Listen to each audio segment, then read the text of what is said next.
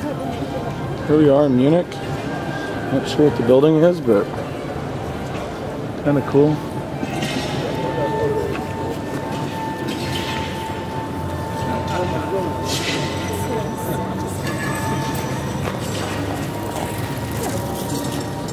Say hi, Natalie. Hello.